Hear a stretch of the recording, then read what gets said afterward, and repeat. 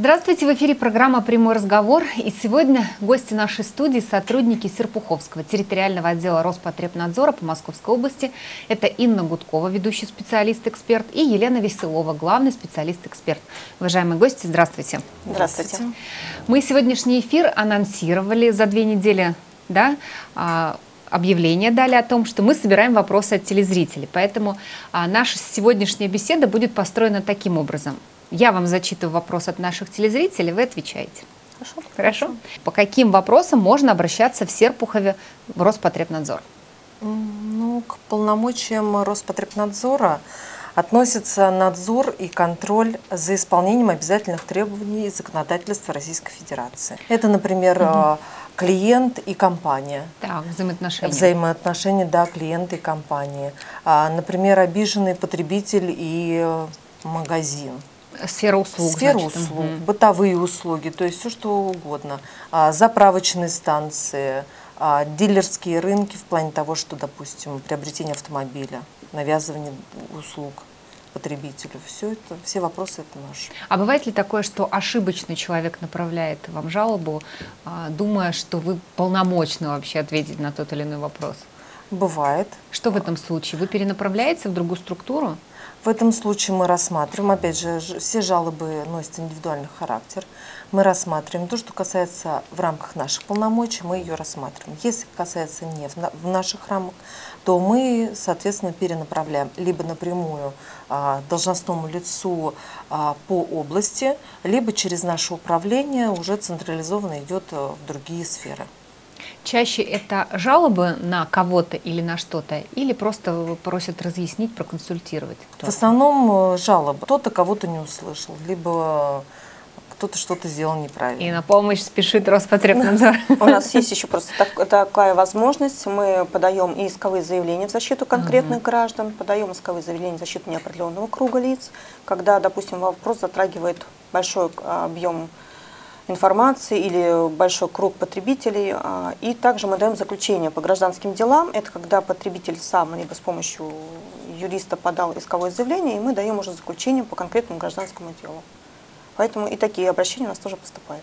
Так, с полномочиями мы разобрались. Следующие наши вопросы, они очень такие конкретные. Итак, мне подарили сертификат видео, но на нем написано, что деньги а, вернуть нельзя с сертификатом. Э, В эфире ОТВ Серпухов вы как-то сказали, что сертификат можно обменять на деньги. Насколько это правомерно, что мне отказали в магазине?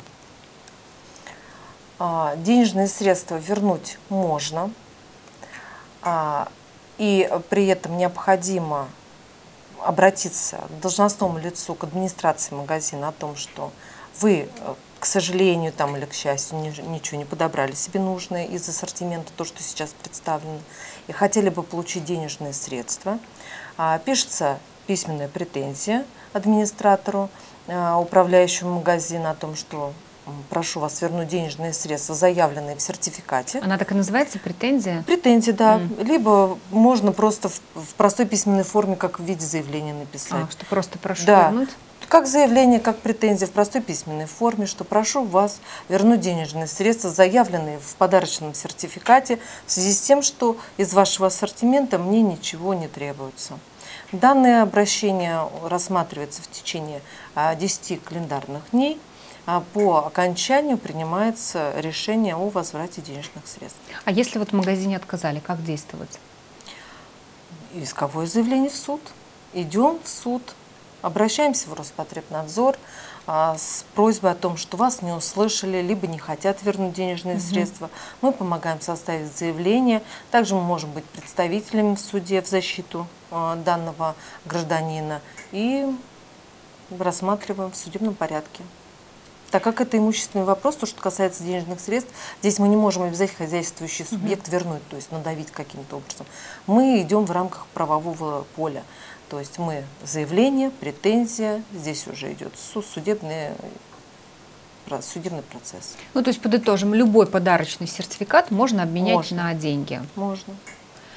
Следующий вопрос. А, Приобрела в магазине обувь со скидкой 40%. Через неделю отклеилась подошва, то есть обувь оказалась некачественной. Но в магазине мне сказали, что на уцененный товар гарантия не распространяется. Законно ли продавать товар без гарантии? Я могу вернуть?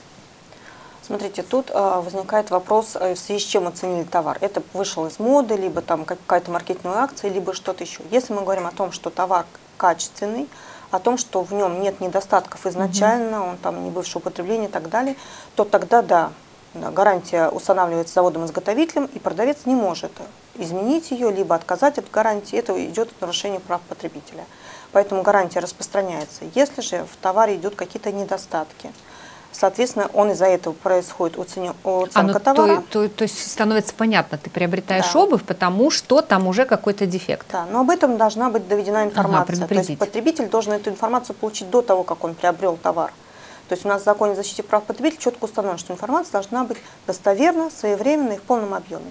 То есть если потребитель видел о том, что там, допустим, ну, не хватает там, допустим, какого-то стразика, либо там что-то там с замочком не так, и он согласен на такие условия, угу. и он принимает решение покупать, соответственно, в дальнейшем он уже по этому вопросу требования предъявить не может о том, что там что-то как-то вот застежка идет не так. А все остальные гарантийные обязательства, которые устанавливает изготовитель, сохраняются. Ну хорошо, а как доказать э, тому же самому продавцу, что он предупреждал покупателя о том, что там вот зам, замочек сломан, условно? Смотрите, у нас по закону о защите прав потребителей изначально обязанность доказывания лежит на продавце. Что касается недостатка товара, обязанность доказывания лежит на продавце до тех пор, пока действует гарантийный период. После гарантийного периода уже обязанность доказывания переходит на покупателя. Соответственно, если на товаре установлен гарантийный срок, обязанность доказать лежит на продавце, в том, в том числе и по информации. Но все-таки рекомендуем о том, что если вы предполагаете о том, что в дальнейшем могут возникнуть какие-то вопросы касаемо вот такой вот нестандартной ситуации, можно сделать фотографию, информация, как правило, размещена на ценнике, либо на маркировке товара, где идет указание о том, что идет скидка, уценка и так далее. И, соответственно, если там есть какой-то недостаток, он должен быть тоже зафиксирован, наглядным, доступным для потребителя месте. Ну, то есть, правильно понимаю, в момент продажи, передачи покупателю, продавец может сфотографировать и таким образом себя обезопасить, что я предупредил. И продавец может сфотографировать, ага. покупатель тоже.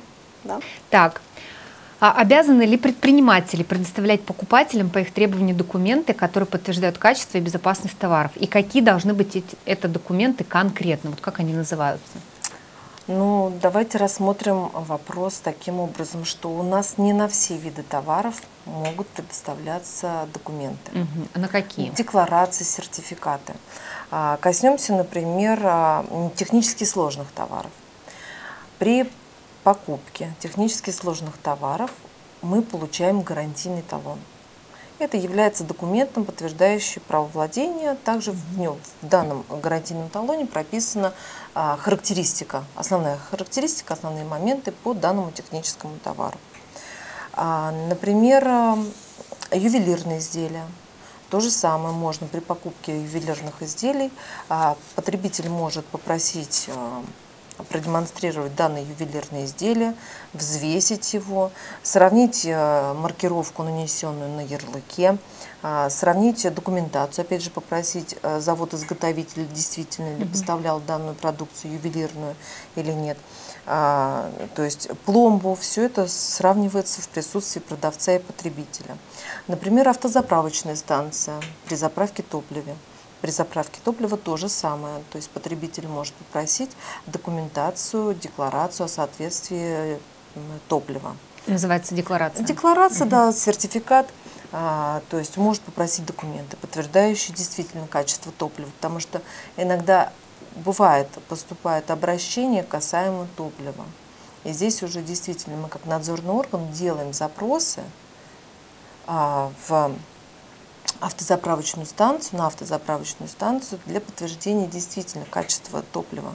Но опять же, это все должно быть, э, то есть если более глубоко коснуться, то здесь уже лаборатория. Угу. Если коснуться действительно качества, откуда поставлено было топливо, то здесь уже декларации и сертификаты. Документ продавец э, обязан сразу же предоставить Нет. или в течение какого-то периода? Если у него есть в наличии какие-то угу. документы, подтверждающие качество товара, либо сертификаты, он может предоставить сразу. Если, допустим, в какой-то момент сразу не предоставляются данные заявленные бумаги потребителям, а административному органу нужно сделать запрос опять же, от производителя, от поставщика, для того, в связи с тем, что у него, допустим, поступил запрос от потребителя на предоставление необходимых документов. Я вот ни разу, вспоминаю, не запрашивала ни один подобный документ у продавца. Вот я думаю, насколько это правильно или неправильно. Ну, мы рассчитываем на свою, наверное,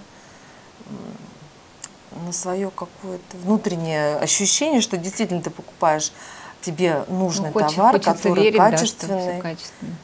Опять же, мы все ориентируемся на маркировку. В маркировке четко должно быть прописано состав, свойства. А, Опять же, есть люди аллергики, которые, допустим, не переносят э, хлопок или не переносят синтетику. То есть, опять же, поставщик, производитель, производитель данного товара должен заявлять четко а, заявленные свойства, заявленные э, характеристики данного товара о том, чтобы потребитель мог выбрать нужную и подходящую ему вещь. Так, к следующему вопро- вопросу переходим. Скажите, до сих пор в заведениях общепита должны быть книги отзывов и предложений. Вообще их кто-нибудь читает, если они есть? Да, книги отзывов, предложения, они должны быть. А- а, Сейчас были изменены правила оказания услуг общественного питания, были изменены правила дистанционной торговли, правила общей торговли. И вот у нас осталось требование, что все-таки книга отзывов, предложений должна быть в организациях общественного питания, в организациях, оказывающих бытовые услуги. Как таковых требований к ведению данной книги нет. То есть это на усмотрение хозяйственного субъекта, но о том, что она должна быть. И мы все-таки как Роспотребнадзор рекомендуем о том, что необходимо руководству торговой точки просматривать книгу отзывов предложений, об- обязательно направлять ответ. Если потребитель указывает адрес, там электронную почту, значит отправлять по электронной почте. Если потребитель указывает домашний адрес, значит, ну, я не думаю, что это существенно будет финансовая нагрузка на Я бизнес уж думала, это пережиток прошлого. ответить Почтой России. Для чего это нужно и почему мы рекомендуем все-таки это делать? Потому что у нас, в принципе, законом о защите прав потребителя установлено о том, что пот- потребителю должен быть направлен ответ. То есть потребителю обращение его должно быть рассмотрено в течение 10 дней.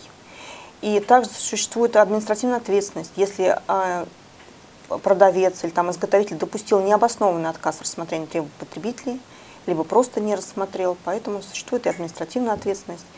Плюс к тому же у нас э, существует и штраф, который, когда потребитель в дальнейшем обращается в суд, он взыскивается судом, это 50% от суммы, присужденной судом в пользу потребителя. Поэтому это тоже такая нагрузка серьезная, если там идет сумма, допустим, там, не тысячи, не две, а сто и так далее, соответственно, 50% штраф, это опять взыскивается с продавца в пользу потребителя за то, что он не смог удовлетворить требования в добровольном порядке. Если Роспотребнадзор приходит с проверочкой, вот как раз вы книгу пролистываете, Да, просматриваем. Во-первых, а, у нас потребители делают акцент, а, в частном порядке бывает достаточно легко заметить то, что не видно, когда мы пришли на проверку. Поэтому, естественно, мы обращаем внимание, на что жалуются потребители, есть ли случаи какие-то такие не просто конфликтные ситуации, там нагрубили, Мгм. нахамили, а именно вот нарушение санитарных правил, санитарных норм, либо что-то такое, что влечет нарушение по защите прав потребителя, там, обсчет, обвес и так далее. хранится, где должна эта книга? Где-то на видном месте? Такого требования нет, а Мгм. установлено то, что она предоставляется по требованию. А, ну то есть если я попросила, мне тогда обязаны Да, принести. Да, потому что бывают, я так понимаю, случаи, потребитель, о, контролируемые лица жаловались о том, что книги уносят с собой и портят, и все Рисуют. бывает. Да. Есть ли какие-то правила доставки еды, норматив на упаковку, например? У нас есть санитарные правила, которые в том числе регламентируют доставку э, пищевых продуктов. А, Что касается упаковки, это есть технический регламент о безопасности упаковочных средств, который устанавливает требования к любому виду упаковки. Это там, керамическая посуда, бумажная посуда, пластиковая или смешанная. И прежде всего основное требование это то, что посуда должна быть именно для пищевых продуктов. На этом есть специальная маркировка на каждом там, будь это коробочка, пластиковый стаканчик и так далее, везде идет маркировка о том, что для какой, для чего предназначена эта упаковка. Для пищевых продуктов, либо не для пищевых. Из чего изготовлено это. Основные требования к упаковке это то, что она должна быть в том виде изначальном, то есть не подвергаться, если это горячий какой-то напиток, либо горячий продукт, чтобы она не деформировалась, не выделяла какие-то вредные вещества и так далее. Вот. А, Что касается доставки, хотим обратить внимание потребителей. Прежде всего, когда вы получаете продукцию, необходимо посмотреть, в, в каком виде вам ее доставили. То есть упаковка должна быть не нарушена, должна быть целостная. Если вы заказываете горячее блюдо, там, допустим, кофе или что-то, он должен быть горячий стакан. Поэтому, угу. Потому что, во-первых, это и с точки зрения потребителя важно заказать обед, а не получить его на угу. ужин. Ну и в то же время это ваша безопасность, потому что э, сами понимаем, что горячие продукты, как сказать, э, сохраняют полезность и безопасность лучше, чем охлажденные.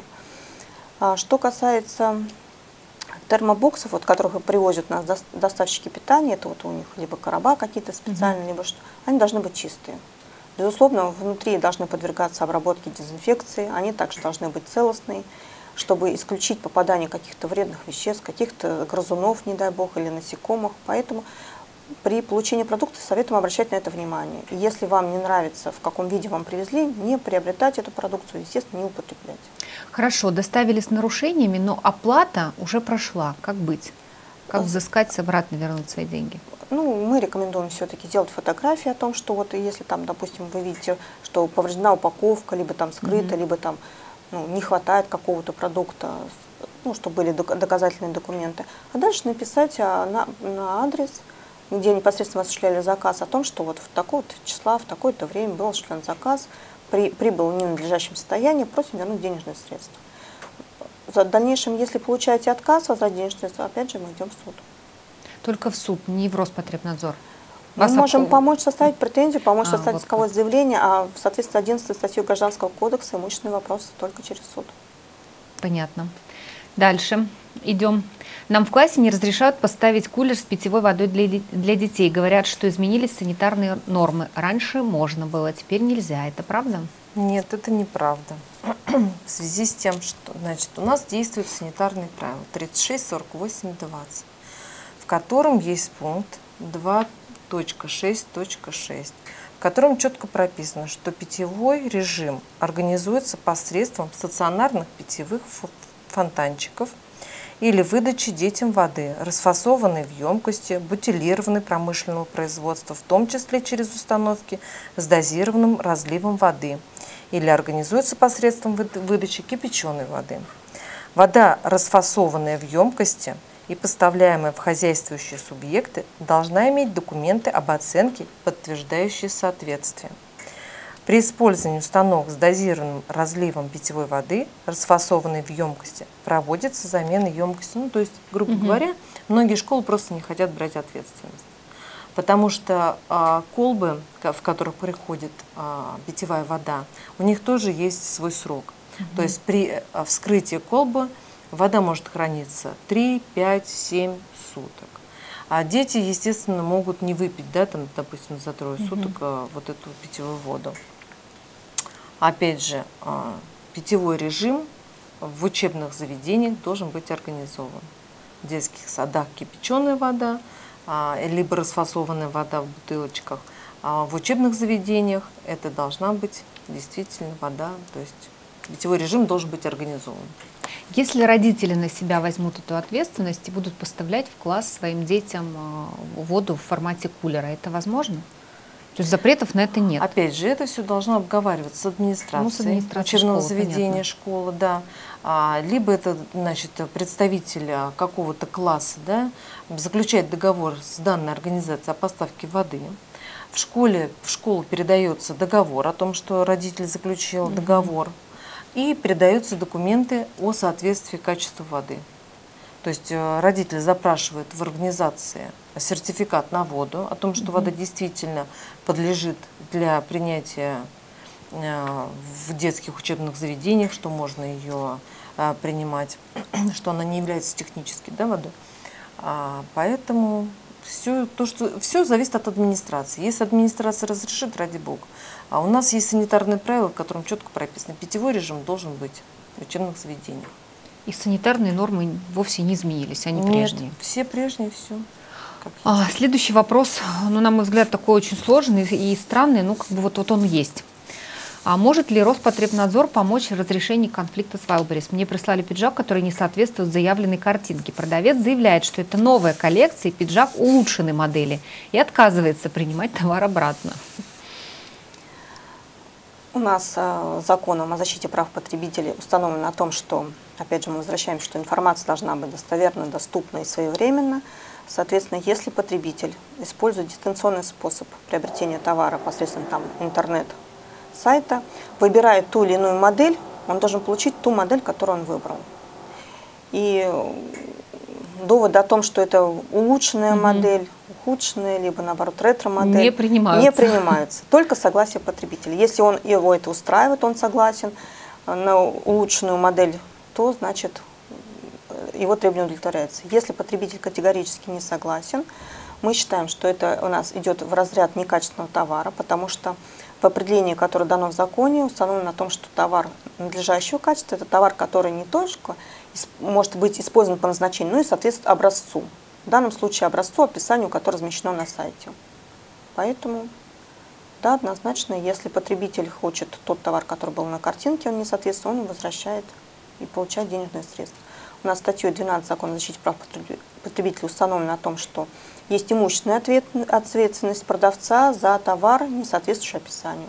Поэтому все убытки, все, которые не несет потребитель, материальные затраты, связанные с возвратом товара, с отказом от договора купли-продажи, несет продавец, потому что изначально предоставлена недостоверная информация. Ну, если вот э, не складывается диалог по переписке, также можно перейти на уровень судебного разбирательства, да? Да. да. Так, еще один вопрос, он последний на сегодня. Проводит ли Роспотребнадзор проверки шаурмичных? Ох, я сразу вспомнила, пару лет назад мы снимали сюжет, как прокуратура проверяла одну точку продажи шаурмы, и я была шокирована лично от того, что я увидела. Ну, проверки проходят. Конечно, то есть групп, если объект начинает работу, он должен о себе заявить. То есть в управление подается уведомление о начале деятельности. И в связи с тем, что данная точка начинает свою работу, к ней сначала приходит с профилактическим визитом. То есть профилактический визит проходит в рамке беседы. Угу. А вопрос-ответ тоже так же. То есть э, специалист выходит на место, знакомится с объектом, смотрит, все ли правильно установлено, расположено, есть ли в наличии, например, те, опять же те же самые санитарные книжки, а в наличии раковины, куда складируется мусор, отходы, каким образом, как промаркированы э, ножи, доски, каким образом поставляют продукцию, а, то есть э, проверяются. Также проверяются и по обращениям граждан. Обращения какого формата? То есть видео какие-то подтверждения? Ну, качественные, да? да, фотографии иногда бывают. Иногда кто-то прикладывает фотографии, кто-то фотографии не прикладывает, просто а, пишет, что вот на данном объекте осуществляется, допустим, некачественная продукция, была выявлена некачественная продукция. То есть, естественно, здесь не остается без внимания. Ну, со ваши сотрудники приходят без предупреждения в такую точку общепита или как? Когда как. Смотрите, если идет э, такой вопрос, который не создает угрозы жизни и здоровью, соответственно, выдается предостережение. Это документ, который мы направляем контролируемому лицу и в котором указываем, на что обратить внимание. То есть по обращению потребителей было заявлено то-то, то-то, обращаем ваше внимание, устранить то-то, то-то. Если же идет угроза жизни и здоровью, или, не дай бог, причинение вреда жизни и здоровью, соответственно, данная проверка проходит без уведомления контролируемого лица. Что вообще грозит за нарушение санитарных норм? Вот неправильно хранится мясо, например. Это нарушение требований регламента о безопасности пищевой продукции. Если это юридическое лицо, там от 200 тысяч. Если человек отравился, что он должен подтвердить? Что он скорую вызывал или каким образом? Он должен обратиться в медицинское заведение, которое поставит ему диагноз – и, как следствие, пишет дальше жалобу к нам, проводится санэпидрасследование. Елена Евгеньевна, Инна Борисовна, спасибо вам огромное за то, что вы нашли время, сегодня приехали к нам на студию, ответили именно на вопросы наших телезрителей. Если этот а, формат будет пользоваться популярностью, он будет востребован, а, я думаю, что мы можем даже сделать какую-то такую постоянную рубрику «Вопрос-ответ». Будем да? рады встрече. Спасибо, что пригласили. Спасибо и всего доброго. Всего доброго. Всего доброго.